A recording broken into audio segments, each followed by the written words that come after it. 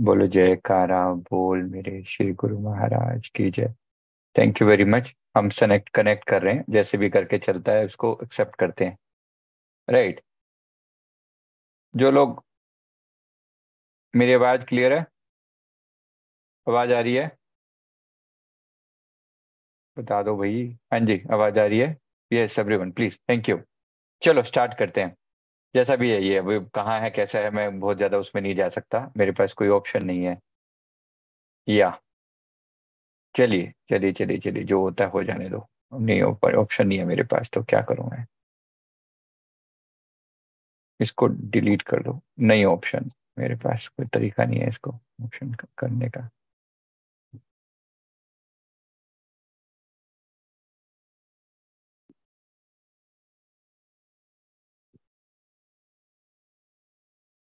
Right चलिए, हम शुरू करते हैं। ये यूट्यूब पर लाइव है। आप उसमें से कुछ अगर कनेक्ट हो सकते हैं तो प्लीज़ इसको, यहाँ पर कनेक्ट हो जाएँ। जो भी है, ये अभी जैसा भी है, इसको कनेक्ट करते हैं राइट आप लोग भी छेड़खानी मत करें। आप कोई भी पर्सनल मैसेज मत लिखा करें प्लीज़ सभी से निवेदन है। गड़बड़ मत किया करें। इतना समय नहीं होता। हर व्यक्ति ऐसी पर्सनल बात ना करे ना। चलिए शुरू करते हैं। बोलो, जयकारा। बोल मेरे श्री गुरु महाराज की जय, श्री सदगुरुदेव भगवान की जय।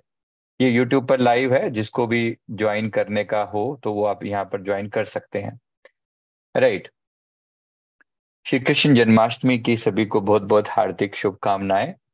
मैं निवेदन करता हूँ कि इसी प्रकार भगवान कृष्ण की कृपा हम सब पर बरसती रहे। हम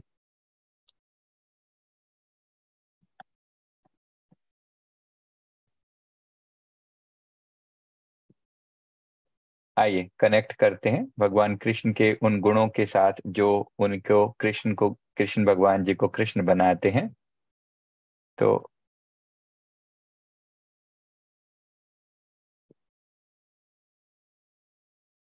तो जन्माष्टमी की सभी को हार्दिक शुभकामनाएँ।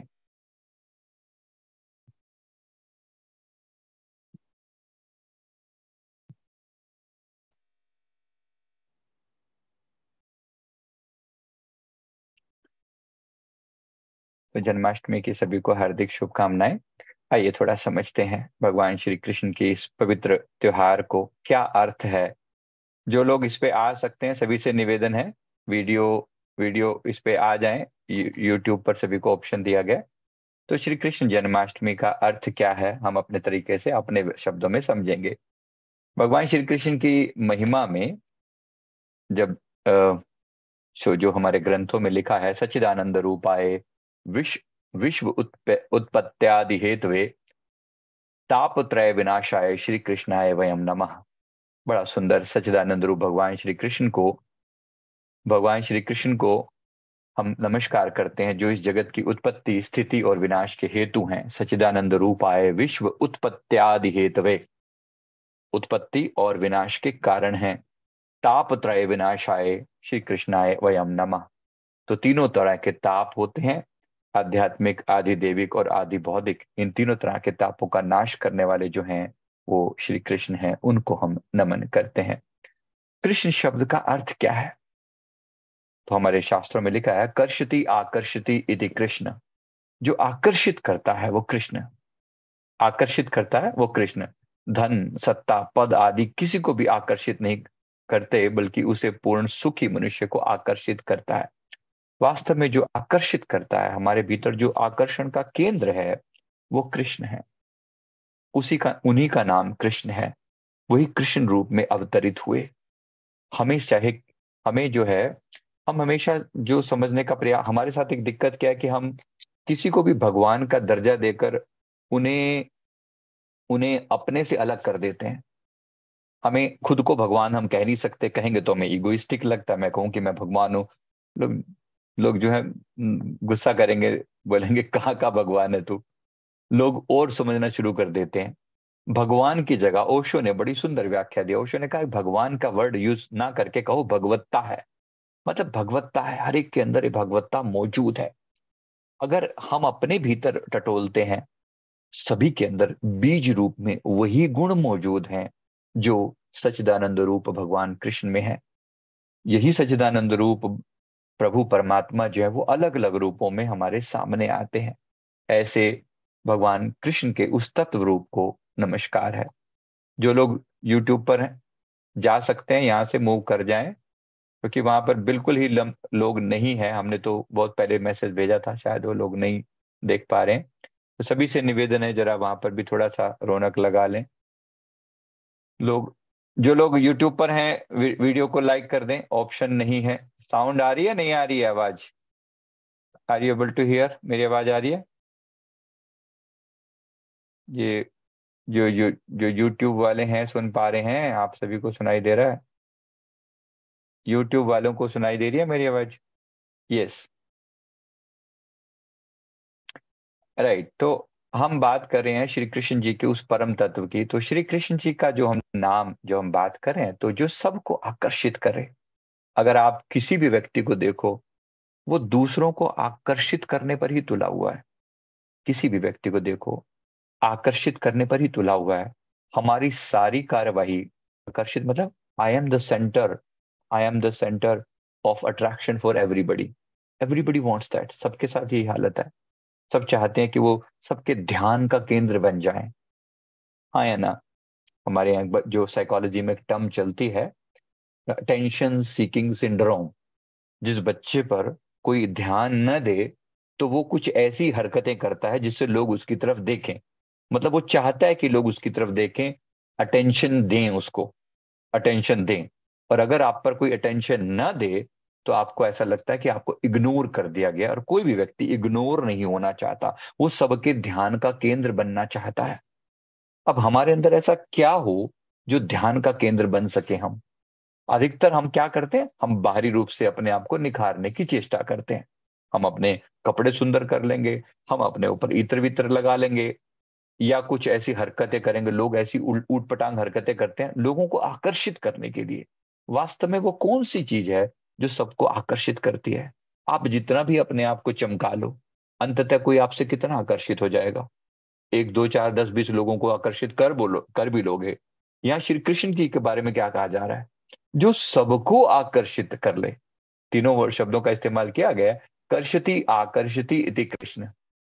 कर्षति आकर्षति सभी को आकर्षित जो कर ले, वो कृष्ण है। चाहते तो हम भी सभी यही हैं। और मज़े की बात है कि हमारे सबके भीतर भी कृष्ण तत्व तो उतना ही मौजूद है, जितना श्री कृष्ण में मौजूद है। है तो सही, लेकिन पहचान किसी को नहीं है। हर एक के अंदर जागृत नहीं हुआ वो। सुप्त अवस्था में, सुप्त अवस्था में हर माँ के यहाँ बच्चा जब जन्मता है तो वो उसको अपने बच, अपने बच्चे को कोई यशोदा के नंदलाल से कम नहीं समझती माँ। हाँ या ना? बोलो। जो भी माताएँ बहनें बेटियाँ जो हैं हमारी यहाँ पर वो जानती हैं कि अपने बच्चे को सभी जो लाड करते हैं वो कृष्ण रूप में ही करते हैं और बच्चे भी अपने आप को कृष्ण कहीं ना कहीं समझना शुरू कर देते हैं। लेकिन लेकिन जिस जब हम बात कर रहे हैं श्री कृष्ण जी की वो है सचिदानंद स्वरूप। कौन है वो? सचिदानंद स्वरूप। जो सतचित आनंद रूप है। क्या अर्थ है इस बात का? जो सत्य है। सदा थे, सदा हैं, सदा रहेंगे। क्या ये उनके भौतिक रूप की बात हो रही है? बिल्कुल भी नहीं, क्योंकि भौतिक रूप तो एक बार था, एक समय के बाद वो चला गया। भौतिक रूप। लेकिन जो कृष्ण तत्व है, वो ना कभी गए हैं, ना कभी जा सकते हैं। ना कभी। वो सचिदानंद रूप है। हम सबके अंदर भी सचिदानंद रूप में विराजमान है। हम तो अपने गुरुदेव की, हमारे, मेरे गुरुदेव के यहाँ जो अभिवादन किया जाता है उनके आश्रम में, हम सभी को एक दूसरे को जय सचिदानंद जी बोलते हैं। अब सोचिए हम मैं आपको बोल रहा हूँ जय सचिदानंद जी, आप मुझे बोल रहे हैं जय सचिदानंद जी। मैं आपको बोल रहा हूँ, आप मुझे बोल रहे हैं। अगर आप सचिदानंद हैं, मैं सचिदानंद हूँ तो यहाँ श्री कृष्ण को सचिदानंद कहा जा रहा है। इसका मतलब क्या? इसका मतलब क्या? आत्मा के जो गुण है, परमात्मा के जैसे ही हैं। फ़र्क नहीं है दोनों के अंदर। हम अपने गुरु को भी, अपने भगवान श्री कृष्ण को भी कह रहे हैं और हम अपने आप को भी कह रहे हैं, हम आपको भी कह रहे हैं कि आप सचिदानंद रूप हैं, मैं आपको नमस्कार करता हूँ। एक दूसरे को हाथ जोड़कर कहते हैं, जय सचिदानंद जी। तो बड़े कमाल की बात है। कहीं ना कहीं इस तत्व को समझना है। कृष्ण तत्व मुझमें भी उतना ही मौजूद है जितना आप में, जितना स्वयं श्री कृष्ण में तत्व मौजूद है। बस वो प्रकट करने की बात है। अब बात यह है कि अपने भीतर हम कितना प्रकट करें। अब भगवान कृष्ण जब प्रकट हुए तो प्रकट होकर अब मैं उनको कोई कहानियाँ सुनाऊं ये मैं, मेरी ये वाली नेचर नहीं है कि मैं आपको स्टोरी सुनाऊं कि वो अगासुर का, बकासुर का, टकासुर का वध किया, उन्होंने मारा, वारा ये किया। ठीक है, मारा, ज़रूर मारा। उनके जीवन में इतनी प्रॉब्लम्स आई, इतनी प्रॉब्लम्स आई, जितनी आपकी मेरे जीवन में तो कभी आई नहीं। आप सोचिए, कम से कम हमारा जन्म जेल में तो नहीं हुआ। ज़ाहिर सी बात है, घर में हुआ ना, भगवान कृष्ण का तो जन्म ही जेल में हुआ। कब हुआ? रात के बारह बजे। सोचो, रात के बारह बजे अशुभ समय गिना जाता है। अमावस्या की काली रात टाइम वैसे खराब। अब हर हर तरह से अशुभ सिम्टम जो है, वहाँ पर हो रहे हैं। और जेल में भी सात दरवाजों के बीच में कैद हैं। सात दरवाजों के बीच में कैद हैं, प्रहरी बैठे हुए हैं। ये अलग बात है कि वो बाद में सो गए, उनकी माया का जो स्वरूप जब प्रकट हुआ कि हम सबके पास वही कृष्ण तत्व मौजूद है। हम सबके भीतर, मेरे भीतर उतना ही मौजूद है जितना आपके भीतर मौजूद है। बस उसे ही हम खोज रहे हैं। इस धरती पर हमारे आने का सबसे बड़ा मकसद उसी कृष्ण तत्व को ही खोजना है। बस वो खोज जो है, यहाँ से शुरू हो, या वो खोज वहाँ से शुरू हो। अब ये डिपेंड करता है आपके ऊपर कि आप किस रूप में उसे खोजते हो।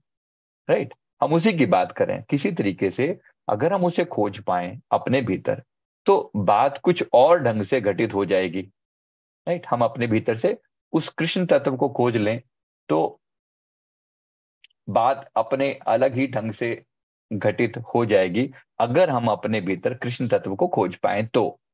तो कृष्ण तत्व की बात क्या होती है? अगर हम खोजते हैं, किसी किसी शायर ने खूब लिखा है, कहते, मेरे दिल में दिल का प्यारा है, मगर मिलता नहीं। मेरे दिल में दिल का प्यारा है, मगर मिलता नहीं। हर शय में उसका नज़ारा है, मगर मिलता नहीं। है तो सही, कृष्ण तो कण कण में है। कृष्ण तो कण कण में है। हम वही वृंदावन वासी या मथुरा वासी या द्वारका वासी किसी भी रूप में उनको कहें, हम सिर्फ़ एक कृष्ण की बात क्यों करें? हम केवल एक कृष्ण एक स्थान पर उसे सीमित क्यों करें? अगर उसे ढूंढना ही पड़े तो सबसे पहले अपने ही दिल में खोजेंगे। मेरे गुरुदेव ने तो मुझे यही सिखाया है, दिल ही खोज, दिले दिल खोजो। कब भी शुरुआत करना तो भीतर करना। असली मंदिर मस्जिदों में, बाहर के मंदिर, मंदिरों में ढूंढते हैं हम उसे। अच्छा लगता है, सुंदर है वो भी। नमस्कार के योग्य है, कभी जाना तो ज़रूर। मथुरा वृंदावन जाना, ज़रूर जाके पहले दर्शन करना उन मंदिरों के। ज़रूर, आनंद की अनुभूति अवश्य होगी। पर याद रखना, ढूंढना तो अंत में अपने ही भीतर पड़ेगा। अपने भीतर एंटर किए बगैर, अपने भीतर आए बगैर गुजारा नहीं है मतलब नहीं है। यहाँ ढूंढ लो कि वहाँ ढूंढ लो, ऐसे ढूंढ लो कि वैसे ढूंढ लो, ढूंढना तो अपने ही भीतर पड़ेगा। बात समझ में आ रही है? तो कृष्ण तत्व अपने भीतर मौजूद है। थोड़ा और खोज करते हैं। लेट्स फाइंड इट आउट कैसे हैं कृष्ण? मेरे भीतर जो कृष्ण है वो कैसे हैं? क्या अभी भी आपसे संसार के दो चार दस बीस लोग तो आकर्षित होते होंगे? होते होंगे। मैं बाहरी रूप की बात नहीं कर रहा हूँ। चलो आप सुंदर होंगे, मान लिया आप सुंदर होंगे, बाहरी रूप से भी होंगे, ठीक है? लेकिन यहाँ जो बात हो रही है, ये गुणों की बात हो रही है। कुछ तो आपके अंदर ऐसा होगा जो आकर्षित करता होगा लोगों को। क्या आपका चेहरा? उसको थोड़ी देर के लिए साइड में कर देता है, क्योंकि यहाँ फ़िज़िकल उसकी बात नहीं हो रही। चेहरा आज है, कल कुरूप हो जाएगा, फिर क्या करेंगे? कुछ ऐसा कुछ ऐसा जो आपके किरदार की खुशबू हो कुछ ऐसा जो आपके व्यक्तित्व की खुशबू हो जाए, वो कृष्ण है। मेरे भीतर भी कृष्ण तत्व है, आपके भीतर भी कृष्ण तत्व है। उसी कृष्ण तत्व को खोजते हैं। बड़ा सुंदर है, बड़ा प्यारा है, खोजने लायक है। खोजना चाहिए। दिल ही खोज, दिले दिल खोजो। प्रयास तो उसी को खोजने का किया जा रहा है। तो जरा कैसे ढूंढे उस कृष्ण तत्व को अपने भीतर? उस कृष्ण तत्व को ढूँढने के लिए ही हम प्रयास कर रहे हैं। आइए, थोड़ा सा थोड़ा सा डुबकी लगाते हैं उनके गुणों के अंदर। उनके गुणों के अंदर डुबकी लगाते हैं। तो कृष्ण जी के गुण जो हैं, यहाँ पर मैं आपको, कृष्ण जी के गुणों में तो मैं एक बार उनके गुण गिनाता हूँ तो आप उनके साथ डुबकी लगाएँगे, बड़ा आनंद रहेगा इसमें। कृष्ण जी के चौसठ गुण सिक्सटी फोर क्वालिटीज उसमें कही जाती है कि सचिदानंद रूप में अगर संसार में कोई आए हैं, परिपूर्ण रूप में आए हैं, परिपूर्ण रूप में आए हैं। अन्य लोगों ने भी कहा कि हम भगवान के अवतार हैं किसी ने कहा कि हम उसके आ, हम उसके पैगंबर हैं उसके भेजे हुए फरिश्ते हैं। नमस्कार है। किसी ने कहा कि हम उसके पुत्र हैं। नमस्कार है। लेकिन किसी ने ये नहीं कहा कि स्वयं हम वही हैं। ये जो कहने वाले आए ये श्री कृष्ण ही आए। सबने अपनी अपनी बात कही। सबने अपनी बात कही। उससे अपना रिश्ता बताया। लेकिन किसी ने ये नहीं कहा कि मैं वही हूँ। यहाँ पहली बार कोई ऐसा रूप आया जिसने कहा मैं वही हूँ, मेरी तरफ़ देख। व्याख्या भी दी तो कैसी दी? तो मैं जरा उनकी व्याख्या में आपको ले चलता हूँ थोड़ा थोड़ा उनकी गहराइयों में। तो बड़े प्यार से जरा डुबकी लगाएँगे, श्री कृष्ण जी के रूप के अंदर डुबकी लगाएँगे तो आप भी थोड़ा उनको अनुभव कर पाएँगे। मैं बस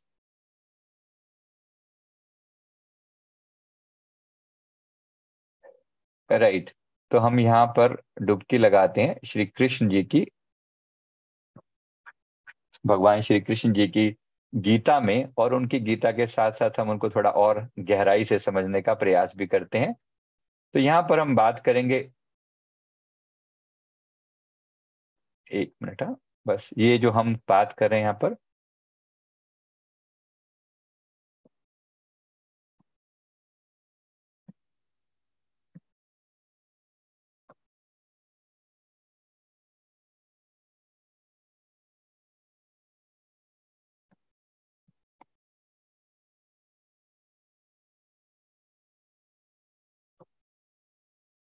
राइट तो हम सबसे पहले भगवान श्री कृष्ण के गुणों की बात करते हैं उनके क्वालिटीज की बात करते हैं जो उन्हें कृष्ण बनाती हैं।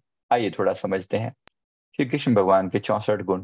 पहला गुण कौन सा है? जरा आपने इधर टटोलते रहना। इस भक, भक्ति रसामृत सिंधु में चौसठ गुण बताए गए हैं। विशेष हैं। कुछ गुण ऐसे हैं जो हम में और उनमें समान है लेकिन कुछ गुण ऐसे हैं जो उनमें यूनिक हैं। तो जो हमारे समान है उनकी बात करते हैं। संपूर्ण शरीर का सुंदर स्वरूप है, जिनके बारे में हम सुनते हैं, आदरम, वदरम, नयनम मधुरम फिर इसी तरह से सारी व्याख्या करते करते लास्ट में कहते हैं कि मधुरादे पते अखिल, अखिलम मधुरम हे हे मधुर मधुरता की परम सीमा हो प्रभु, आप, आपका सब कुछ मधुर है। आप इतने सुंदर हो, इतने सुंदर हो। तो कि जिसके कण कण सुंदर है, जिसका रोम रोम सुंदर है, इसको मधुर अष्टकम में डाला गया है। अगर आप उसका आप भगवान श्री कृष्ण की व्याख्या सुने, सुनना चाहते हैं तो ये बड़ा है सुंदर, बहुत ही प्यारा है। तो जहाँ उनकी जहाँ उनकी इतनी महिमा गाई जाती है तो यहाँ पर क्या कहते हैं?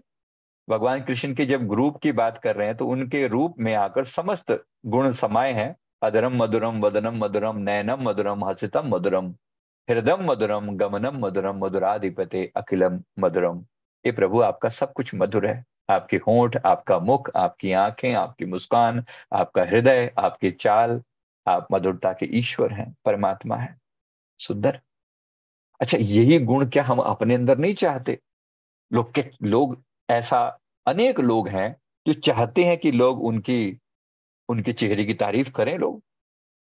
उनके चेहरे की लोग तारीफ़ करें। मैं तारीफ़ करूँ क्या उसकी जिसने तुम्हें बनाया? चाहते तो हैं ऐसा कि लोग हमारे साथ भी ऐसा हो, कि लोग हमारी भी आँखों की तारीफ़ करें, हमारी भी मुस्कुराहट की तारीफ़ करें। अब यहाँ उनका सब कुछ ही मधुर है, सब कुछ ही सुंदर है, इतना सुंदर है, इतना सुंदर है कि हमारी अपनी अस्तित्व खो जाए, उस सुंदरता के अंदर संपूर्ण अस्तित्व विलीन हो जाए। परमात्मा है, परमात्मा होंगे तो फिर ऐसे ही होंगे, इसे नीचे तो बात ही नहीं करेंगे।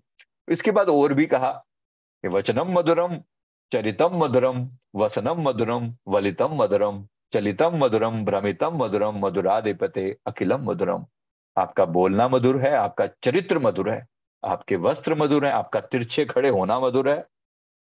आप आप संसार में कोई तिरछा खड़ा हो जाए, आप उसको कुछ उल्टा सीधा ही बोलोगे कि भाई क्या नोटंकी कर रहा है? लेकिन यहाँ हर अदा मधुर है।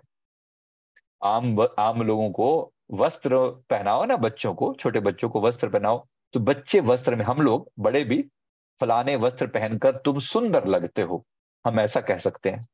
लेकिन श्री कृष्ण जी के बारे में, जिस वस्त्रों को श्री कृष्ण धारण कर लें, वो वस्त्र सुंदर लगते हैं। वो तो रोम रोम उनका मधुर है। ये हमारी आत्मा की स्वभाव की बात हो रही है।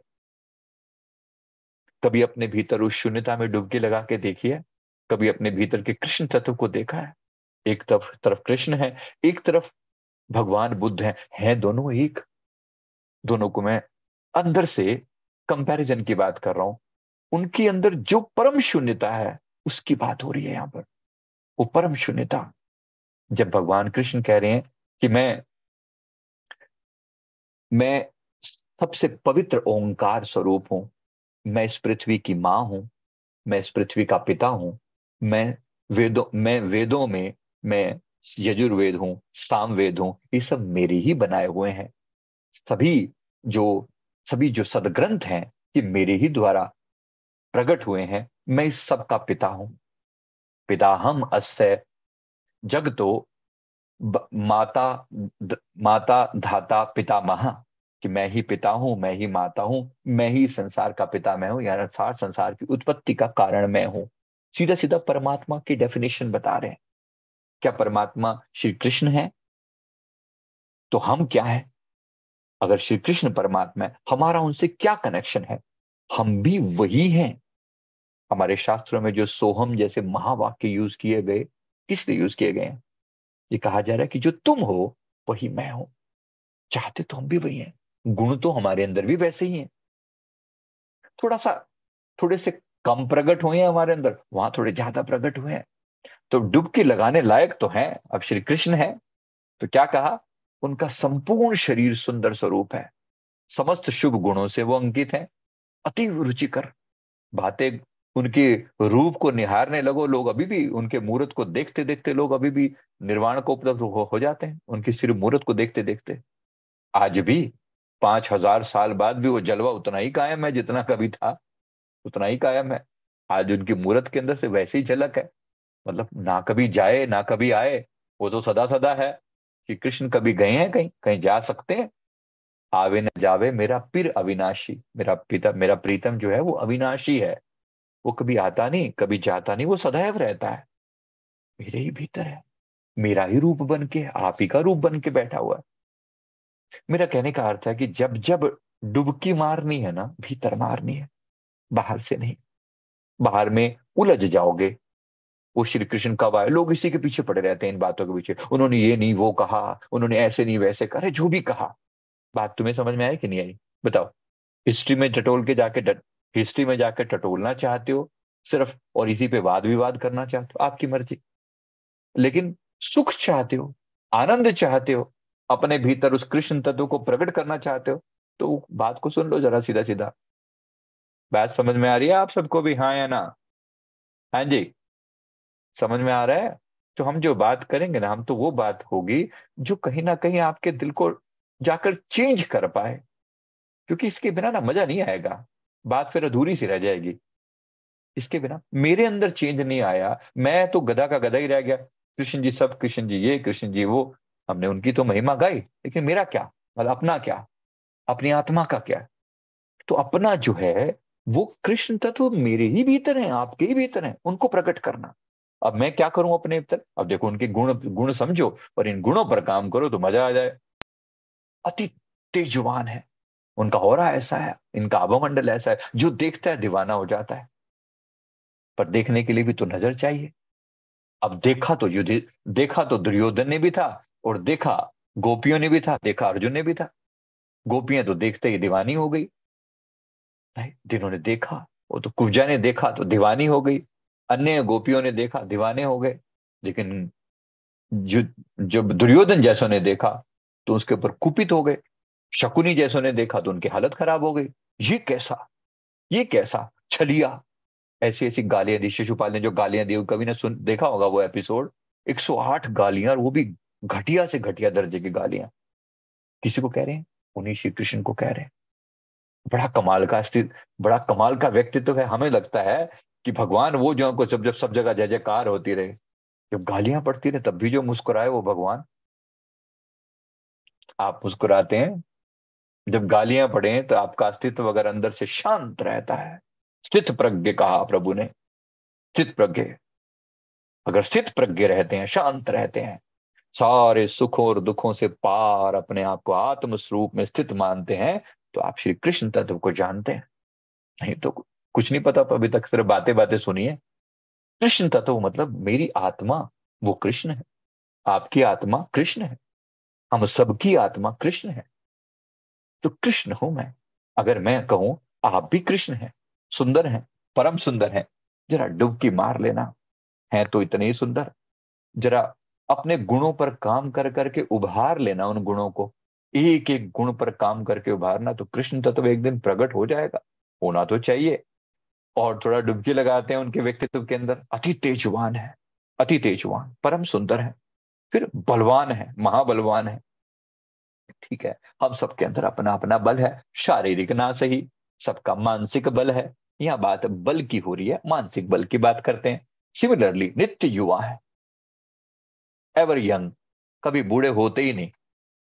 कभी बूढ़े होते नहीं। जिस समय महाभारत में गीता सुनाई गई थी, उनके, मेरे हिसाब से जो उसमें जो, उस हिसाब से जो एज बताई गई है, वहाँ पे लगभग उनकी एज कितनी रही होगी? लगभग चौरासी साल। एटी फोर ईयर्स के आसपास की उनकी एज थी। और कितने यंग थे। कितने यंग थे? चौरासी साल। यहाँ चौरासी साल में बंदा आर पारी हो लेता है। यंग वेरी एवर यंग सदा से ही नित्य नित्य युवा। हम भी चाहते तो यही है। आज विज्ञान भी यही खोज कर रहा है। कि किसी तरीके से लोग नित्य युवा रह सकें। सदा हमारे अंदर कभी बुढ़ापा ना आए, हम सदा सुंदर दिखें, शरीर के अंदर कभी अंग क्षीण ना पड़े। ये ये स्वभाव कब हो पाएगा? जब तक अपनी आत्मा में डुबकी नहीं लगेगी। ये बाहरी रूप से आप इस शरीर को, ये मरण धर्मा शरीर है, ये तो जाएगा। ये तो जाएगा आज, नहीं तो कल, ये तो पड़ा होगा चिता के ऊपर। कौन है जो नहीं जाएगा? हम उसकी बात कर रहे हैं। क्या आपके भीतर उसको जान लिया आपने? जरा भीतर डुबकी लगा के देखें। जरा भीतर डुबकी लगा के देखें। एक बार पुनः याद दिला रहा हूँ, मेरे दिल में दिल का प्यारा है, मगर मिलता नहीं। हर शय में उसका नज़ारा है, मगर मिलता नहीं। ढूंढता फिरता हूँ, उसको दर बदर और कू बकू यहाँ से वहाँ वहाँ से यहाँ ढूंढता फिरता हूँ। हर जगह वो आशकारा है, मगर मिलता नहीं। कहने वालों ने बड़ा ढूंढा, करने वालों ने बड़ा ढूंढा तो शेख ढूंढे हरम में और ब्राह्मण ढूंढे देर में, हर जगह उसको पुकारा है, मगर मिलता नहीं। किसकी बात हो रही है हमारे ही आत्म तत्व की बात हो रही है। हमारे ही आत्म तत्व की बात हो रही है तो बात तरह डुबकी लगा लेने वाली है। यहाँ पर जब मधुरष्टिकम पढ़ते हैं तो भगवान की हर अदा सुंदर है। लेकिन इस, इसी सुंदरता को जब हम अपने भीतर जाकर देखते हैं तो वो जो वो जो तत्व निकल कर आता है सामने, वो कुछ और ही है। यहाँ हम एक तरफ़ हम भागवत गीता की बात करते हैं तो एक तरफ़ हम अपने अंदर अपने अंदर के उस तत्व की बात करते हैं, जहाँ पर हम अपने भीतर उतर के देख पाए, हमारे मन के अंदर आत्मा का तत्व भी प्रकट हो सके। तो यहाँ मैं बात करूँगा यहाँ पर कि जिस तरीके से, जिस, जिससे हमारे भीतर भी परमा वो परमात्म तत्व प्रकट हो सके, उसकी बात करते हैं। तो मैं एक बार पुनः उनके गुणों की बात करता हूँ। यहाँ इनके गुणों में तो नित्य युवा है, अद्भुत भाषाविद है। भाषा के ऊपर इतना कंट्रोल है कि जब वो बोलते हैं तो शब्दों का सारा समन्वय, उन्हें ऐसा लगता है कि जैसे सारे खेल उन्हीं के लिए हो रहे हैं। उनके शब्दों में ऐसा सुंदर ज्ञान है भाषा का। हो सकता है संसार में भी अनेक लोग होंगे जिनको ज्ञान होगा।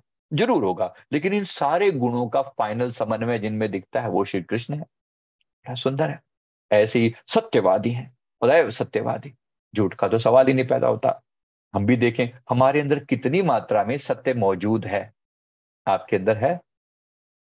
राइट डेफिनेटली हम कृष्ण रूप में हम किसी ने सवाल कर रहा है कि क्या हम भी पूर्ण रूप में कृष्ण बन सकते हैं? वाई नॉट वाई नॉट पहले हम अपने गुणों को निखारते हैं पहले जो अशुद्ध रूप पड़ा है ना, ये अशुद्ध, जैसे एक हीरा है, गुण वही है, हीरा है, लेकिन वो पड़ा है गंदी नाली में, गंदी नाली में। पहले तो उसको वहाँ से निकाल, निकाला जाएगा, उसे धोया जाएगा वॉश किया जाएगा, फिर उसके गुणों को निखारा, थोड़ा सा पॉलिश की ज़रूरत भी पड़ेगी, क्योंकि पड़े पड़े बहुत टाइम बीत चुका है तो कुछ और उसके ऊपर काम भी करना पड़ेगा। है सब कुछ हमारे अंदर वैसा ही, बस थोड़े से अवगुण जो है, थोड़े ज़्यादा आ गए हैं इसलिए, इस, इसलिए थोड़ा सा उस पर काम जो है वो करना पड़ेगा अपने ऊपर। तो निखारने के लिए प्रयास करने पड़ेंगे। किसी का सवाल है कि क्या हम पूर्ण रूप से कृष्ण बन सकते हैं? Yes why not why not अंत में क्या होगा? पहले हम अपने गुणों को निखारेंगे। फरीद साहब एक फकीर हुए हैं। लिखते हैं, फरीदा, आप संवारे, मैं मिले, तू खुद को संवार पहले। संवार ताकि तुझे मैं मिल जाऊँ। वो मैं की बात जब करें वो परमात्मा की तरफ़ से कह रहे हैं। मानो भगवान श्री कृष्ण हमें कह रहे हो, ऐसा मान के चलो। वो कह रहे हैं, फरीदा, आप सवार तो मैं मिले। मैं मिले या सुख होए। मैं, मुझे मिल जाने के बाद तेरे, तू सदा सुखी हो जाएगा। और जे तू मेरा होए रहे, अगर तू मेरा होके रहता है तो सारा जग तेरा होके रहेगा। जब तू मेरा होके रहेगा, वो वो भगवान फरमा रहे हैं, मान लो भगवान कृष्ण ही फरमा रहे हैं कि तू मेरा होके रहे तो सारा संसार तेरा होके रहेगा। ये क्या कह रहे हैं? ये बात कर रहे हैं समर्पण की। ये बात कर रहे हैं समर्पण की। तू समर्पित हो जा। तो पहले तो अपने गुणों पे थोड़ा निखार अपने आप को। इतना योग्य तो बन, इतना योग्य तो बन कि तू उसका भक्त तो बन, उसका प्यारा तो बन फिर धीरे धीरे अपने आप को, गुणों को निखार अपने आप को। एक समय के बाद अपने आप को मर्ज कर दे, लीन कर दे। अपने तत्व को भूल जा। अपने आप को पहले तो निखार, फिर अपने आप को लीन कर दे। अब मिलने से पहले भी वर वधु के गुण मिलाए जाते हैं। संसार की भाषा में बोल रहा हूँ। संसार में भी वर वधु के गुण मिलाए जाते हैं। आत्मा और परमात्मा के गुण कुछ तो मैच करेंगे ना। जब मिलेंगे, आत्मा परमात्मा के साथ मिलन होगा तो गुण तो मैच करेंगे। आत्मा को परमात्मा, पहले आत्मा को हम जाने तो सही, अभी तो हमने खुद को शरीर जाना हुआ। है हमने आत्मा जाना ही कहा हुआ है? आत्मा को जानते ही पता लगेगा ये आत्मा ही कृष्ण तत्व है। ये आत्मा ही कृष्ण तत्व है। इसके अंदर ही कृष्ण तत्व मौजूद है। जरा और उनके गुणों की बात देखें, और गुण कितने सुंदर है देखो।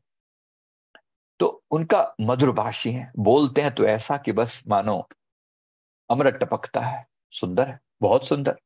वाकपटु है वाकपटु है। अब आप मधुर भाषी के बारे में खुद से देखो, पूछ के, क्या आप मधुर भाषी हैं? क्या आपकी वाणी में मिठास है क्या आपकी वाणी में मिठास है, क्या लोग आपकी वाणी से अट्रैक्ट होते हैं? अगर नहीं होते तो ये गुण लाने का प्रयास करो, खुद से कहो हाँ मेरी वाणी में मिठास है। देखो, कृष्ण तत्व तो इतना तो उतर ही आए हमारे अंदर। जन्माष्टमी मना के ऐसा ना कि ऐसे ऊपर ऊपर से रह जाए हाँ हाँ हाँ जन्माष्टमी आई। सो वट आपके अंदर क्या चेंज आया आपके अंदर क्या चेंज आया जैसे थे वैसे रह गए। नहीं, बात बनी नहीं। गुड़तू के गुड़तू रह गए फिर फिर कैसे बात बनेगी? बात तब बनेगी जब कुछ परिवर्तन आएगा। मैं निखरूँगा तो परिवर्तन आएगा। मेरे भीतर कृष्ण जागृत होंगे, वो तत्व जागृत होगा तो आनंद आएगा। तो मैं आकर्षित कर पाऊँ। चाहते तो हैं सब, लेकिन अहंकार में कभी नहीं होगा। इस शरीर के बोध से ऊपर उठना पड़ेगा। तो हर वक्त अपनी आत्मा का बोध बनाए रखें। अपनी आत्मा का कि मैं आत्मा हूँ, मैं आत्मा हूँ। मैं आत्मा हूँ, मैं आत्मा हूँ, मैं शुद्ध हूँ, मैं शुद्ध हूँ। ये शरीर मैं नहीं, इदम न मम, ये मेरा नहीं। हाँ मैं इस शरीर के भीतर हूँ। ये कुर्ता जैसे मैंने पहना हुआ है, पर मैं कुर्ता नहीं हूँ। बस मैं इतना ही कह रहा हूँ। मैं एक शुद्ध चेतन आत्मा हूँ, मैं एक शुद्ध चेतन आत्मा हूँ, और ये भी कोई तोता रटन नहीं है। मैं जानता हूँ भीतर से कि मैं आत्मा हूँ। आप जानते हो? अगर भीतर की शून्यता को पहचानते हो, अपने भीतर के उस आनंद स्वरूप को पहचानते हो अपने भीतर के उस खालीपन को पहचानते हो, जिसके लिए बुद्ध ध्यान लगाकर जो बैठे रहते हैं, अपने अंदर में देखते रहते क्या देखते रहते हैं? आपको क्या लगता है? क्या करते हैं? बुद्ध क्या करते होंगे बैठ के? किसका ध्यान करते होंगे? अपनी शून्यता का, उस परम आनंद का, आत्म, आत्मा में लीन हो जाते हैं। ऐसे ही श्री कृष्ण भी बैठकर, हम कहते हैं, कृष्ण अच्छा श्री कृष्ण आँखें बंद करके बैठते होंगे। शेष शैया पर विष्णु रूप में विराजमान है वहाँ पर, सदा आनंद में। क्या कर रहे होते होंगे वहाँ पर? अपने ही आनंद में लीन होते हैं। अपने आनंद में लीन होते हैं। हम कहते हैं अच्छा परमात्मा से जुड़े हुए होते हैं। अच्छा वो परमात्मा से जुड़े हुए होते हैं तो वो खुद क्या है फिर? उसी शून्यता का रूप है। तो जरा डुबकी मारना, उस तत्व को समझना तो मज़ा आ जाएगा राइट थोड़ा गहरा डूबना। लाइक कर दें भाई वीडियो को ये तो लोग बड़ी कंजूसी करते हैं। बात बुरी समझ में नहीं आती। तो थोड़ा डुबकी लगा लें यहाँ वाले भी थोड़ा सा उधर पहुँच जाए। अब जो गड़बड़ होगी होगी, उसमें हम क्या करें? हमने जो, अपनी मर्ज़ी से तो जो किया नहीं, जो हुआ हुआ, देखते हैं। चलो नेक्स्ट वाकपटु है। भगवान श्री कृष्ण बोलने में अति मधुर है। अति मधुर है। बोलने में उनके अंदर ऐसे गुण हैं कि बोलते हैं तो इतना सुंदर बोलते हैं कि व्यक्ति सुनता ही चला जाए। आज भी, चाहे वो एक धारावाहिक की क्यों नहीं है, वो एक सीरियल ही क्यों नहीं है राइट जैसे अलग अलग रूपों में जो सीरियल बने हैं, महाभारत में आज भी श्री कृष्ण जी की वाणी सुनते हो, चाहे चाहे वो किसी ने ऊपर फिल्माई गई है, आज भी इतना ही सौंदर्य मौजूद है हाँ या ना? अगर आपने डुबकी लगाई है रिसेंटली हमने कुछ पार्ट दोबारा से देखा, बहुत सुंदर बहुत सुंदर। एक एक शब्द जो है, हृदय के अंदर उतर जाए। सबसे बड़ी बात क्या है जैसे जैसे हम बड़े होते जा रहे हैं, हमारा ज्ञान भी तो बढ़ता जा रहा है, हमारी समझ भी तो बढ़ती जा रही है। वही भागवत गीता जो अब से बीस साल पहले पढ़ा करते थे। अच्छा आपने पढ़ी है भाई दिवे भागवत गीता पढ़ी है किसी ने? या ऊपर ऊपर से गीता गीता करे जा रहे हैं? श्री कृष्ण जी से प्रेम करते हैं, लेकिन गीता नहीं पढ़ी गीता, भागवत गीता नहीं पढ़ी। जिस गीता के नाम पे कस्में खाते हैं, उस गीता को पढ़ा नहीं कभी। तो पूरी तरह हिंदू नहीं है, जो ध्यान रखना। हिंदू सिर्फ़ शब्दों से हिंदू नहीं होता। सिर्फ़ धर, हिंदू धर्म में पैदा हो जाने से हिंदू नहीं होता। तो कुछ ना कुछ तो अंदर डुबकी लगनी चाहिए। बात समझ में आ रही? कुछ इंपॉर्टेंट है। पढ़ने की ज़रूरत है, डुबकी लगाने की ज़रूरत है। एक बार कभी फिर ले चलेंगे यात्रा पर आपको, श्रीमद भागवत गीता की यात्रा पर। ज़रूर जानना चाहिए कृष्ण तत्व के अंदर। थोड़ा और डुबकी लगाएँगे, थोड़ा और गहरे जाएँगे, ज़रूर करेंगे डेफिनेटली करेंगे। तो जरा डुबकी लगाना तो ये एक जो तत्व हमने इसके अंदर पाया राइट इसके अंदर इसके अंदर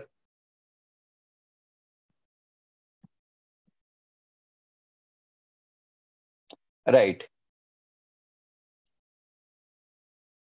मैं जरा मैं आपको अष्टावक्र गीता के साथ भी इनको कंपैरिजन करके बताता हूँ ताकि आपको पता चले कि ये दोनों चीज़ें किस तरह से आपस में मी, मी, मैच करती हैं। क्योंकि दोनों चीज़ें का जो बेस है ना अष्टावक्र गीता और श्रीमद भागवत गीता है दोनों गजब के अपने आप में जो उनका स्वरूप है दोनों का अपना ही अपना स्वरूप है। आप जितना उसमें डुबकी लगाएँ आपको भगवान अलग अलग रूपों में पता चलता है। यानी जिसकी बात श्री कृष्ण कर रहे हैं अपने तरीके से, वही बात को किसी और ढंग से वहाँ व्याख्या दी जा रही है। वहाँ किसी और ढंग से व्याख्या दी जा रही है। मैं श्रीमद भागवत गीता का नौवा चैप्टर निकाल रहा हूँ दिखाने के लिए। तो भगवान श्री कृष्ण अपने स्वरूप के बारे में बताते हैं। देखो, एक बार क्या बताते हैं? ए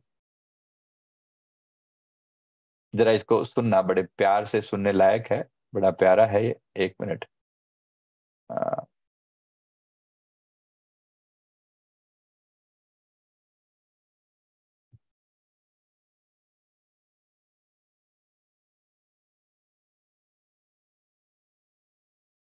भगवान कृष्ण श्रीमद भागवत गीता के नौवें अध्याय में अपनी महिमा, अपने बारे में बता रहे हैं कि मैं कौन हूँ। जरा उनकी व्याख्या सुनते हैं? जरा बड़ी सुंदर है।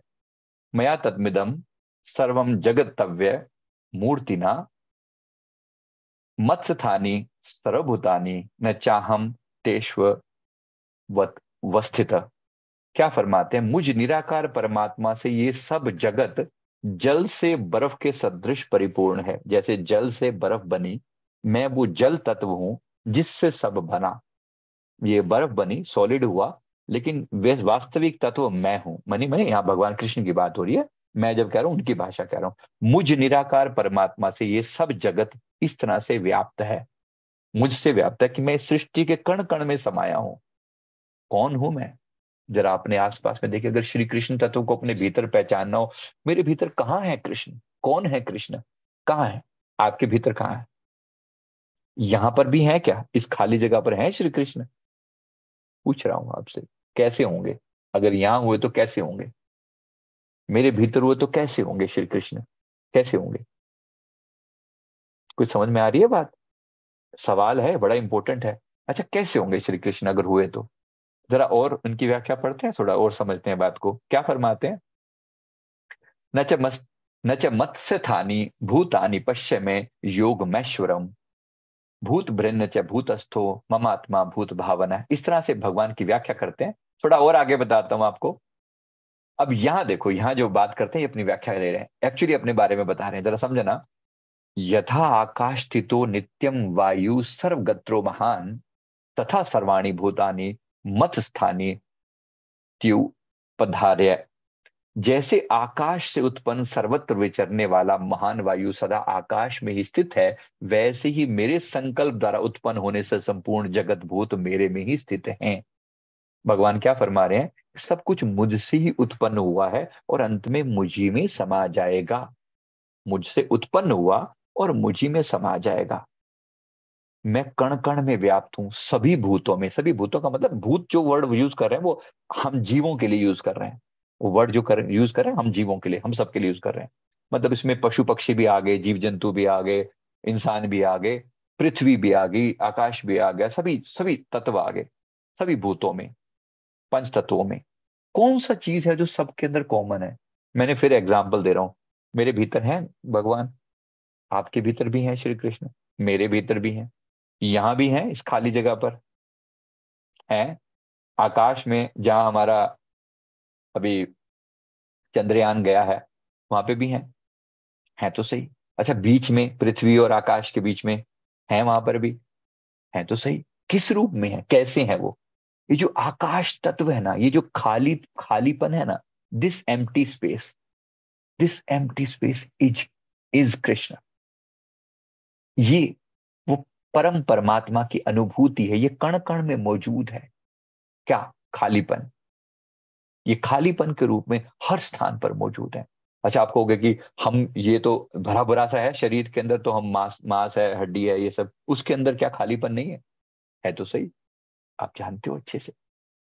हर एक के अंदर एटम है एटम के अंदर भी वही न्यूक्लियस है और उसके आसपास में इलेक्ट्रॉन और पॉजिट्रॉन चक्कर लगाते हैं। पता तो है ना सब आपको राम कहानी का? अंत में अंतर क्या है? शून्यता बात समझ में आ रही है?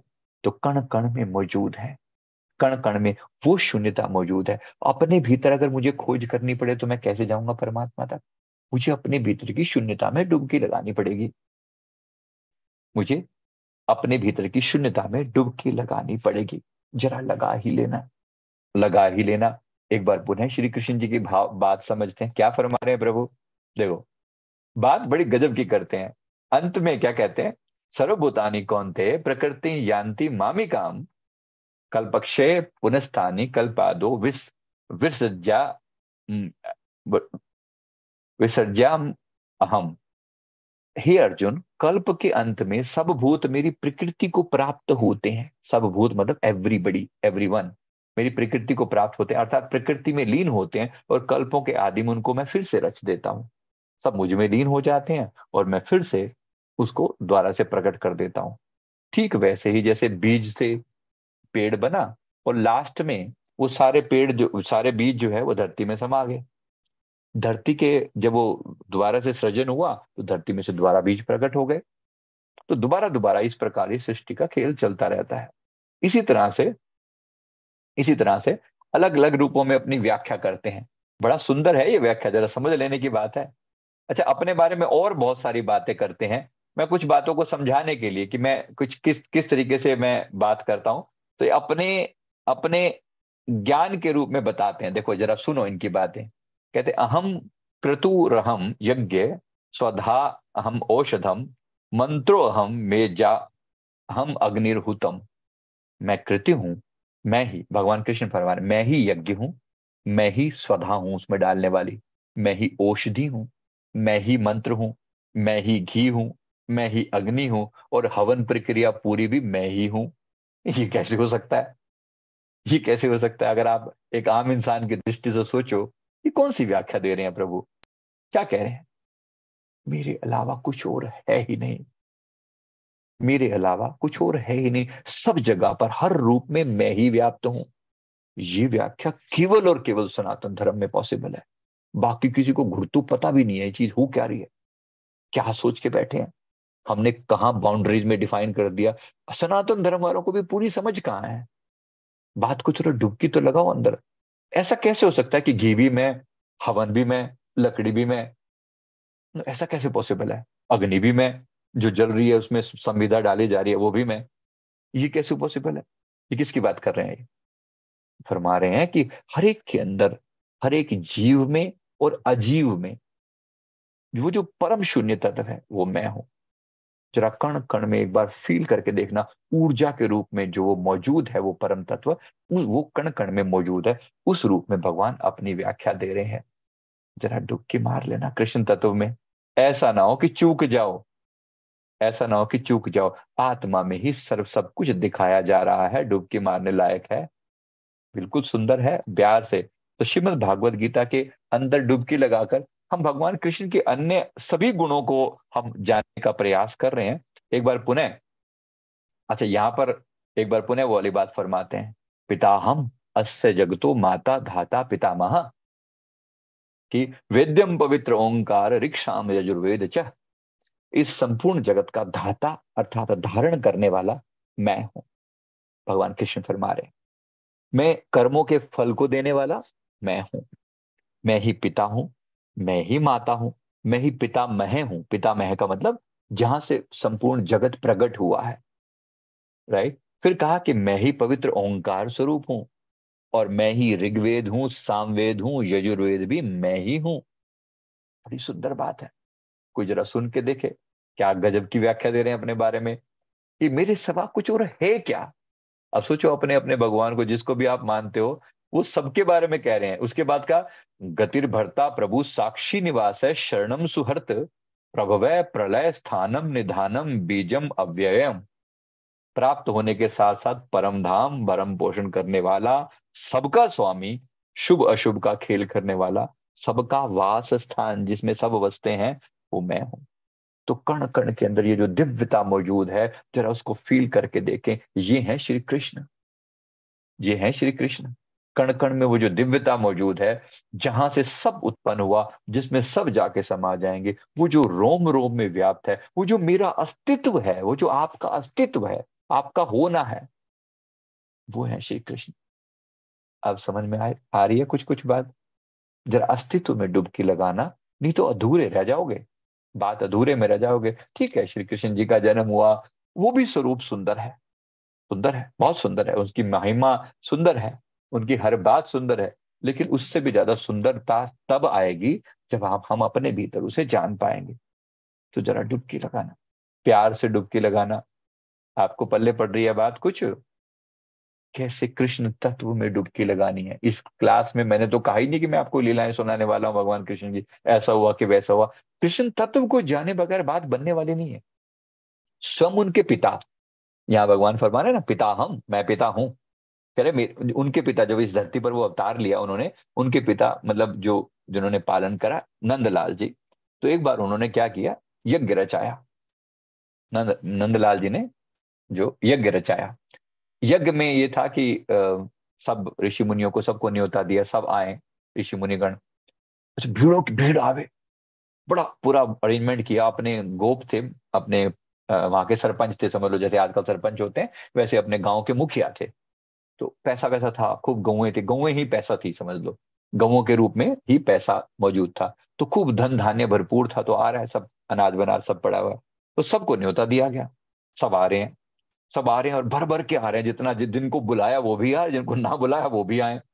भीड़ जब लग रही है तो अब ये जो हवन हो रहा है, हवन में जैसे सामग्री वगैरह डाली जा रही है, उसके बाद भोजन का प्रबंध किया गया है सभी का। तो प्रभु भगवान श्री कृष्ण स्वयं भी अब संत आए हैं। मुँह पे संत अधिक कर लेखा। श्री रामचरित माल में फरमाते हैं कि मुझसे संतों को अधिक जानना तो संतों की संतों की वंदना करते हुए उनकी सेवा करने के लिए भगवान कृष्ण जु, जुटे हुए हैं। छोटे से बाल कृष्ण इधर से उधर उधर से उधर किसी की पत्थर उठा रहे हैं किसी के चरणों को छू रहे हैं किसी का आशीर्वाद ले रहे हैं कुछ कुछ हद लगे हुए हैं जो उनसे हो सकता है। बाहरी रूप से अब सब जो है ना देख सबकी नज़रें वही हैं। अब वो कह रहे हैं कि खाओ भोजन करो ये करो भोजन कौन करने आए वहाँ पर? तो देख रहे हैं सब सबकी नज़रें वहाँ टिकी हुई हैं। अब किसी ने आ, किसी ने अब जो नंदलाल जी से पूछ रहे हैं नंदलाल जी से किसी ऋषि मुनि जी की बात हो रही है। अब नंदलाल जी उनको प्रार्थना करते हैं कि प्रभु कृपा करो। इस जीवन में जीवन रहते हो, प्रभु के दर्शन हो जाए, साक्षात दर्शन हो जाए तो आनंद आ जाए। ये जीवन सफल हो जाए। नंदलाल जी, किसी ऋषि मुनि के आगे प्रार्थना कर रहे हैं कि भगवान के दर्शन हो जाए तो आनंद आ जाए। कमाल की बात, ऋषि मुनि ऋषि जी जो है, वो देख रहे हैं, कहते, भाई तुम एक बात बताओ, हम यहाँ पर तेरे यज्ञ के धुएँ झेलने आए हैं क्या? हम यहाँ पर तेरा खाना खाने आए हैं? हम क्या करने आए हम भी तो प्रभु के दर्शन ही करने आए हैं यहाँ पर। अच्छा कहा है प्रभु? कहा है प्रभु?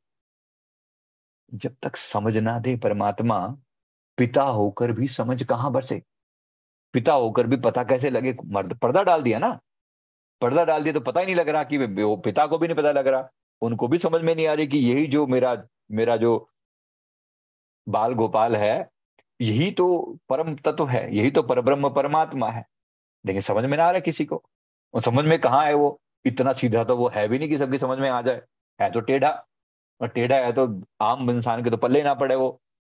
जाएगा वो जो जो जो खुद बंदा सीधा होगा ना, उसको टेढ़ा समझ में आएगा। बात सबकी समझ में आएगी नहीं बात। अब ये नंदलाल जी दुनिया के आगे नमस्कार कर रहे हैं सबको, और सब उसको देख देख के कन्हैया कहाँ है? सबकी नज़रें उसके ऊपर पड़ी हुई है वो कहाँ है? तो सबको आकर्षित कर ले वो कृष्ण। बिना कृष्ण तत्व को जाने बगैर पिता, जिनके घर में श्री कृष्ण स्वयं वास करते हैं, दिन में 24 घंटे में से 22 घंटे समझ लो उनके साथ होते हैं राइट थोड़ा कभी इधर उधर जाते होंगे 24 घंटे उनके साथ होते हैं तो भी वो कृष्ण तत्व को नहीं जानते। इसके बिना इसके बिना उनको भी समझ में नहीं आती। इसके बिना उनको भी समझ में नहीं आती। वो जब तक सो जाने, जिस देहो जनाई जानद तुम्हें तुम्हें ही जाए। वही तुम्हें जान सकता है प्रभु, जिसे तुम खुद जनवा दो। तुम्हें जानने के बाद वो तुम जैसा ही हो जाता है। अभी कोई पूछ रहा था ना कि मैं कृष्ण तत्व में कैसे लीन हो जाऊँ? आपको लीन ही होना पड़ेगा भैया। आपको लीन ही होना पड़ेगा। जाना तो तुम्हें तुम्हें हो जाए। तुम्हें जान, तुम्हारे तत्व रूप को जब जान लेगा तो तुम्ही का रूप हो जाएगा। इसका मतलब ये नहीं है कि अभी लोग क्या करते हैं? अब कृष्ण जी के बारे में और पढ़ना शुरू कर दो। चलो, ठीक है। उनकी लीलाओं का अध्ययन करो। अच्छा है। अब उसी में उलझ के रह जाते हैं। कृष्ण जी ने गोपियों को ये कहा, उन्होंने ऐसा कहा, वैसा कहा। तो ठीक है, वो भी ज्ञान अच्छा है। लेकिन भाई, तेरे को क्या समझ में आया? तेरे अंदर क्या परिवर्तन आया? सीधी सीधी बात बता तू। तेरे अंदर क्या चेंज आया? मेरा जो मेरा जो अंडरस्टैंडिंग है ना, वो चेंज से संबंधित है कि भाई चेंज तो मेरे भीतर आना चाहिए, मैं तब बात करूँगा। राइट समझ में आ रही है मेरी बात? क्या कह रहे हूँ? तो सुंदर है। बड़ा सुंदर रूप है भगवान का। तो समझना ये है कि, उसको समझना ये है कि उस परम तत्व को जानना। अगर एक बार अपने भीतर डुबकी लगाकर उसे जान लिया ना, फिर वो कण कण में नज़र आता है फिर। फिर वो जहाँ देखो उसके सिवा कोई है ही नहीं। बुले शाह कहते हैं, बुला शो असाथी वख नहीं। शो परमात्मा में से अलग नहीं है। बिन शो दे दूजा कख नहीं। उसके सिवा कोई दूसरा है ही नहीं। कुछ कुछ काख भी नहीं है, उससे उससे अलग तो कण कण में वही बसता है। आपने कभी अनुभव किया है कि सृष्टि के कण कण में वो जो आनंद रूप बैठा है, आनंद रूप बैठा है, कभी अनुभव किया है कि सृष्टि के कण कण में वो जो आनंद रूप है? किस किसने अनुभव किया है जरा? सृष्टि के कण कण में वो जो आनंद स्वरूप बैठा है, अगर है, आप नमस्कार के योग्य हैं। आप तारीफ़ के योग्य हैं, अगर आपने उस परम तत्व का थोड़ी सी भी झलक पाई है तो मार लेना डुबकी। बात बड़ी है। बात डुबकी लगा लेने लायक है। कण कण में बैठा है। परम सुंदर है। उसी का दर्शन करने तो आए हैं, उसी को पाने तो आए हैं, वही होने आए हैं। दर्शन करने ही नहीं, वही होने आए हैं। और मैंने कहा ना, जाने तो तुम्हें तुम्हें हो जाए। जान लेने के बाद तुम्हें तुम्हारे जैसा ही हो जाएगा, वो अलग नहीं रहेगा। तो कृष्ण तत्व के अंदर डुबकी मारनी है। कृष्ण ही हो जाना है। सबको आकर्षित कर ले। तो वो इस अहंकारी रूप में आकर तो नहीं हो पाएगा, लेकिन इस अहंकार के पर्दे को टूटना पड़ेगा। तो निर्वाण को उपलब्ध होना पड़ेगा। निर्वाण शब्द का अर्थ क्या होता है? निर्वाण का अर्थ उनकी भाषा में, भगवान बुद्ध की भाषा में, दिए का बुझ जाना, अहंकार रूपी दिए का बुझ जाना। जो मेरे अंदर अहंकार था, वो बुझ गया। जो बच गया, वो ये बचा। तो अहंकार रूपी दिया बुझ गया तो बात समझ में आ गई।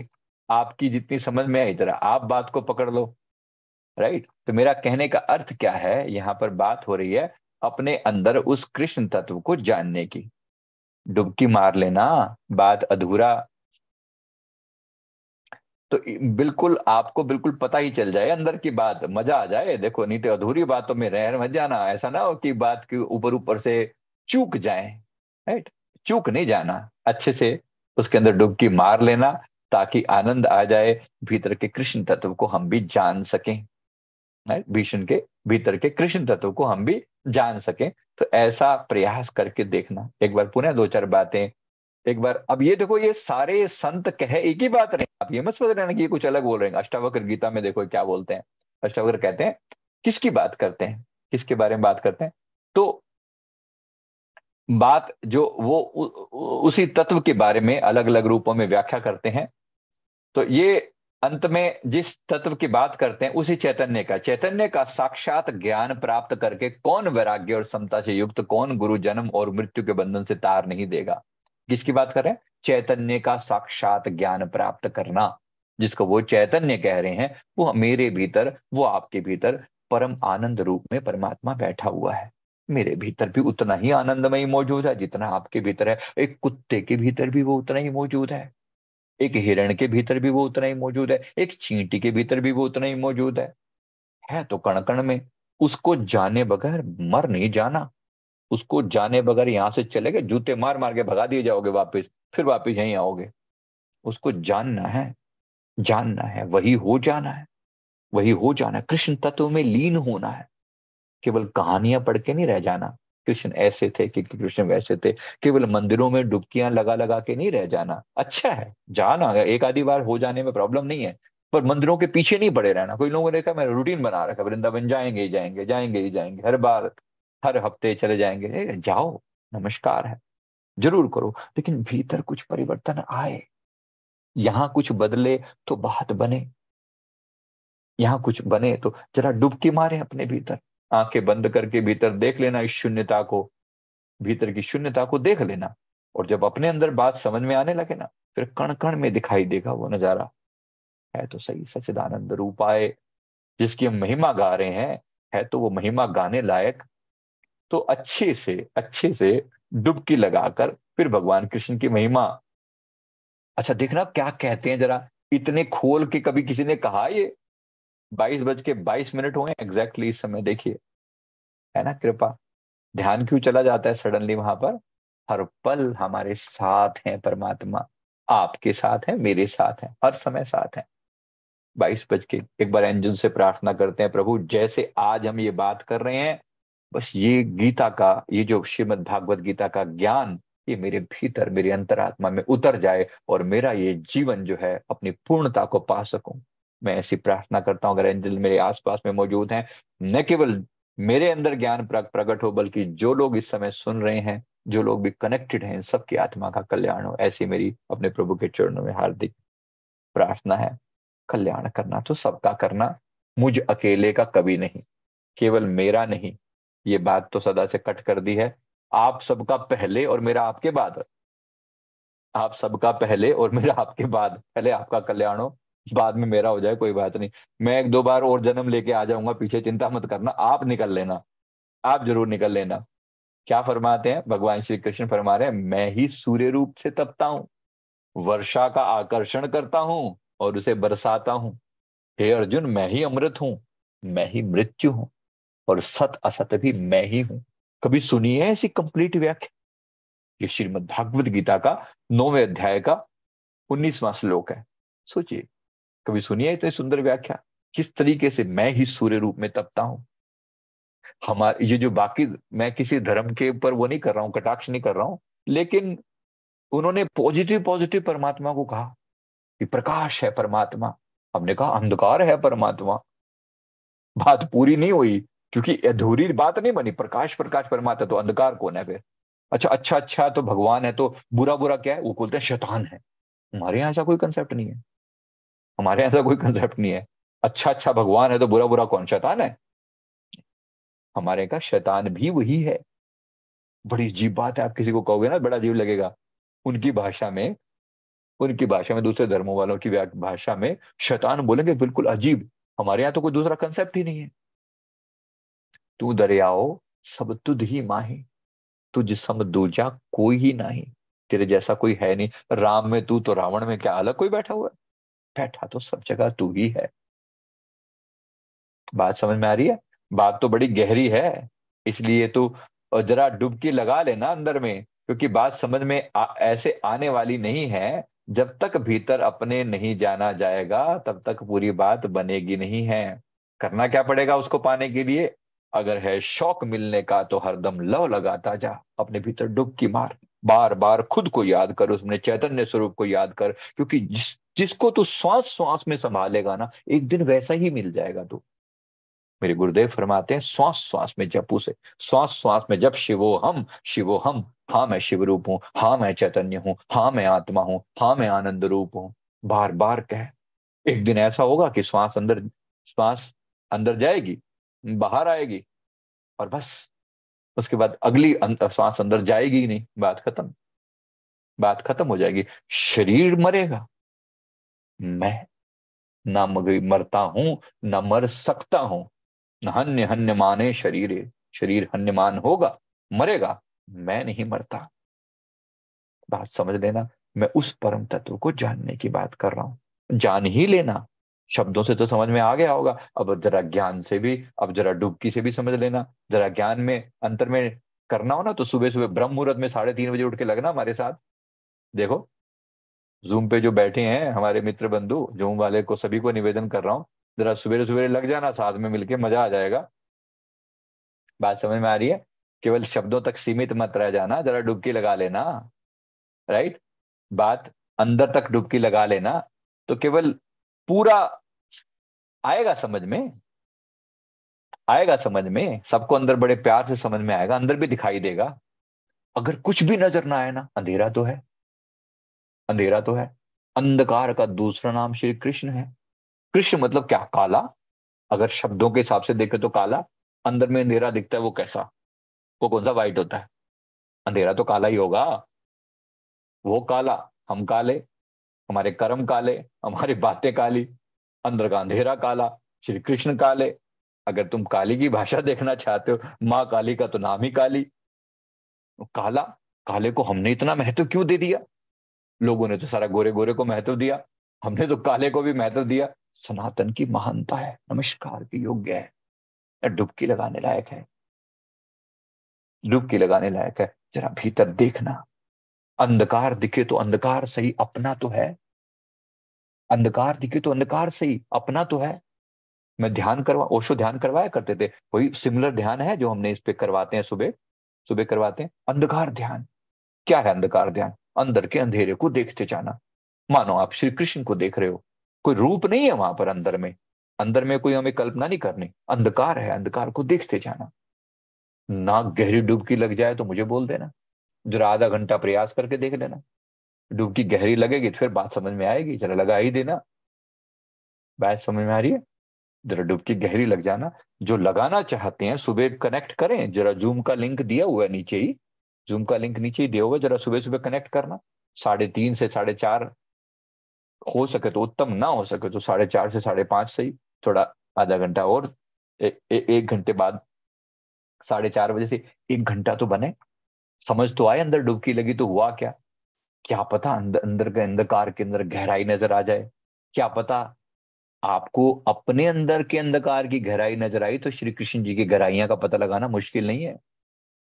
ये भीतर का कृष्ण ही जाने बगैर बात बनेगी नहीं। जानना ही पड़ेगा। वो श्री कृष्ण है जो मेरे भीतर बैठकर सबको, अब जो बोल रहा है, ये श्री कृष्ण, और जो सुन रहा है, वो श्री कृष्ण, वो अलग थोड़ी है। है तो सुंदर, है तो प्यारा, उसकी हर बात सुंदर है, उसकी हर अदा सुंदर है, उसकी हर बात, जिससे भी उसके तुम सोच सकते हो, वो हर अदा के साथ वो सुंदरतम है। मधुराधे पते अखिलम मधुरम। उसकी हर अदा, हर बात, हर रूप सुंदर है। तो यहाँ हमने उनकी गुणों की व्याख्या करी। अब यहाँ देखो, सुपंडित है भगवान श्री कृष्ण। अत्यधिक बुद्धिमान है। भारी रूप से सुंदरता है व्याख्या। है बड़ा प्यारा है। प्रतिभावान है। आपके अंदर भी कोई ना कोई प्रतिभा तो होगी। थोड़ी या ज़्यादा है तो सही। विदग्ध है। सदा दिव्य थे, सदा दिव्य हैं। अतीव चतुर है। अतीव चतुर है। सारे चालाक उनके सामने जबकि चालाकियाँ फीकी पड़ जाती हैं, इतने चतुर हैं, दक्ष हैं एक्सपर्ट हैं किसी चीज़ के अंदर, कृतज्ञ रहते हैं, कृतज्ञ रहते हैं, कोई उन पर उपकार करता है तो उसको दिल में बसा लेते हैं उस बात को। आप भी दृढ़ संकल्प है, आप भी दृढ़ संकल्प है। जरा डुबकी मार के देखना, है तो नमस्कार करना अपने आप को भी। अहंकार रूप में नहीं, वो ये जानना कि मेरे भीतर भी परमात्मा ने इतने गुण प्रकट कर रखे हैं, बात छोटी थोड़ी है, बहुत बड़ी है। इसी तरह से अन्य काल और परिस्थितियों के कुशल निर्णायक है। The right decision maker what kind of situation what kind of timing is there और टाइमिंग और सिचुएशन को कुशल निर्णायक है डिसीज़न मेकर है। बड़े सुंदर है। तो एक एक बात अपने भीतर उतार लेने लायक है। जरा मार ही लेना डुबके डुबके मार ही लेना। तो पीछे छूट नहीं जाना, चूक नहीं जाना कृष्ण तत्व को जाने बगैर भाग नहीं जाना यहाँ से। राइट मेरी मेरी अर्थ क्या है? तो उसको खोज करते करते, अर्थात अपने भीतर अपने भीतर अपनी अपूर्णता को उसकी पूर्णता में लीन कर देना। बेशक हम अधूरे हैं, तभी तो ये अधूरापन सबको कचोटता है। तो अधूरापन जब पूरे में मिल जाएगा तो पूरा हो जाएगा। हमारे शास्त्रों में सुधा लिखा हुआ है, ओम पूर्ण मिद पूर्ण मिदम पूर्णाति पूर्ण मुदच्यते वो परमात्मा परिपूर्ण है तो उसके बच्चे भी परिपूर्ण ही होंगे अधूरे नहीं हो सकते। अब शेर के घर में शेर ही पैदा होगा कुत्ता थोड़ी पैदा हो जाएगा। हाँ, सीधी सीधी बात है ना। शेर के घर में शेर ही पैदा होगा परमात्मा के घर में परमात्मा ही तो पैदा होगा। लेकिन ऑब्वियसली उसके अंदर गुण कम है गुण छोटा है वो साइज़ में। लेकिन गुणों में क्वांटिटी में फ़र्क है क्वांटिटी में क्वालिटी में फ़र्क नहीं है। एक बूंद में और सागर में जो फ़र्क है, बस ऐसा ही हमारा परमात्मा का रिश्ता है। इसको अच्छे से समझ लेना और उसी को अपने भीतर, मेरे लिए पहले मेरी आत्मा। इसको जानू तो परमात्मा को जानना मुश्किल नहीं, वो अगला स्टेप है। शुक्र मनाए। ऐसे कृष्ण तत्व को मेरा बार बार वंदन, अपने भीतर की इस परम शून्यता को मेरा बार बार वंदन। जरा आँखें बंद करके भीतर निहार लें। ये जो भीतर शून्यता दिखाई दे रही है ना खालीपन फील हो रहा है। परम शून्य, कोई विचार नहीं, कोई विकार नहीं। एकदम गहन अंधकार। और ये होना ही मेरी एग्जिस्टेंस है। ये मेरा आनंद है। कोई ज़रूरी नहीं कि मैं कीर्तन खड़काऊँगा, करूँगा, तभी आनंद आएगा। मैं राधे राधे गोविंद का जाप करूँगा, तभी आनंद आएगा। अच्छा है। बुरा नहीं है, बहुत सुंदर है वो भी। जो करें तो बुरा नहीं है, लेकिन वो बाहरी बाहरी है, थोड़ा अंदर आना, थोड़ा भीतर उतरना, थोड़ा भीतर उतरना, तब जाके अंतर में एहसास हो पाएगा अपने होने का। शुरू शुरू में वो अच्छा है, ज़रूर डुबकी लगाना, बाहर से लगाना धीरे धीरे भीतरी तत्व की समझ में आए तो फिर अंतर में बैठकर चुपचाप उस परमानंद में डुबकी लगाना, जिसमें बुद्ध बैठा करते थे। अलग नहीं है लोगों को लगता है बुद्ध अलग बात करते हैं श्री कृष्ण अलग बात करते हैं अलग नहीं कर, कर सकते। सभी सियाणे एक मत। यही बात गुरु नानक देव जी महाराज भी करते हैं यही जैन मुनि भी करते हैं तीर्थंकर वही करते हैं बात अलग नहीं करते। उसी परम तत्व की बात करते हैं। आपको एक बार समझ आ जाए ना एक पार्ट समझ आ जाए तो सबकी सब व्याख्या अपने आप आ जाती है। तो इसलिए उसको नमस्कार है उसके हर रूप को नमस्कार है। तो सतगुरु दया करें। थैंक यू वेरी मच परमात्मा। तो थैंक यू वेरी मच गुरुदेव, कृपा करें। आप सभी का, हम सबका, आत्मा का कल्याण हो। जूम का लिंक जूम का लिंक आपको दिया जा रहा है। इसी वीडियो के डिस्क्रिप्शन में देखो ना। इसी वीडियो के डिस्क्रिप्शन में आपके पास है। नहीं हो तो हम एक बार दोबारा डाल देते हैं। ये ये लीजिए। जूम का लिंक जो है, श्री इस इस वीडियो के डिस्क्रिप्शन में डाल देते हैं।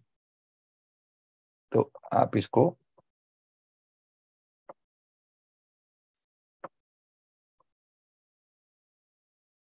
Right right. ये हमारा जूम का सेशन है आप इस पर क्लिक करके वहाँ से भी आ सकते हैं, यहाँ से भी आ सकते हैं जैसा आप ठीक समझे डुबकी लगा लेना राइट right.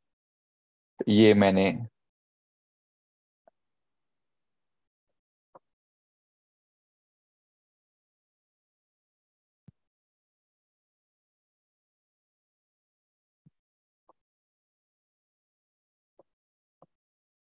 ये लिंक डाल दिया है, आप क्लिक करके सुबह ज्वाइन कर सकते हैं।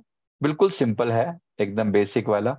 मैं उम्मीद करता हूँ कि इसी तरह से आप, हम सब कृष्ण जन्माष्टमी को मना पाए, हमारे भीतर भी ये कृष्ण तत्व उतर सके तो ऐसा हम प्रयास करें अपने भीतर, हमारे भीतर भी जागृति आए। अभी आज इतना ही समय है, धन्यवाद करते हैं। परमात्मा ने जितना भी भीतर डुबकी लगाई, जरा उसका आनंद लें। और अब जो है, हम एक बार थोड़ी देर जूम पर अभी बैठेंगे क्योंकि यहाँ पर भजन भजन चलाए जा सकते हैं। यूट्यूब उनको, भजनों को बैन कर देता है क्योंकि वो कॉपीराइट होते हैं तो फिर गड़बड़ हो जाती है। तो अभी जो जो लोग यूट्यूब पर हैं, वो चाहें तो जूम लिंक पर आ सकते हैं। अभी ज्वाइन करेंगे तो आपको मिल जाएगा। जो मैंने लिंक डाला है, अभी ज्वाइन कर लें। आप अभी इसका इसका आनंद उठा सकते हैं। राइट कोई कह रहा है शून्यता से डर लगता है। अरे डर कैसे लगता है भाई? इसको डर लगने लगा, शून्यता से। काय को डर लगने लगा? ये हमारा अभी का लिंक है। अगर आपको ज्वाइन करना है ना तो अभी कर सकते हैं। ये अभी का लिंक है। राइट। अभी आपको आना है तो यहाँ आए, फिर बात करते हैं जरा। मॉर्निंग मेडिटेशन में ज़रूर ज्वाइन करें। आपको बहुत आत्मज्ञान की प्राप्ति होगी, बहुत कल्याण होगा। आप यहाँ आएँगे तो फिर आप, आपको बताते हैं यहाँ पर। आइए ताकि हम फेस टू फेस बात कर सकें। ये लिंक दिया हुआ है।